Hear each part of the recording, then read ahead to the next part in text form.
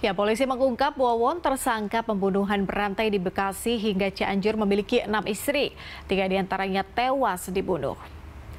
Wawon Erawan alias Aki, satu dari tiga pembunuh berantai di Bekasi dan Cianjur memiliki enam istri. Mereka adalah Wiwin, Aimaimunah, Ende, Halimah, Heni, dan Iis. Dari enam orang tersebut, tiga di antaranya tewas dibunuh. Mereka adalah Maimunah, Wiwin, dan Halimah. Maimuna tewas diracun di kontrakannya di Bantar Gebang, Bekasi. Wiwin tewas dibunuh di Cianjur, sedangkan Halimah dibunuh Solihin alias Dulo, rekan Wawon di Cianjur. Polisi masih terus melakukan pendalaman terkait penemuan fakta tersebut.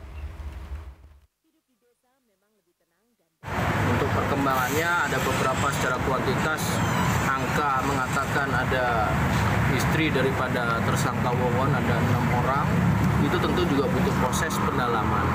Melalui apa? Tentu pendukungnya adalah administratif dari distrik Capil, misalkan atau di catatan RW, sampai dengan kelurahan setempat atau kepala desa, ini perlu didukung.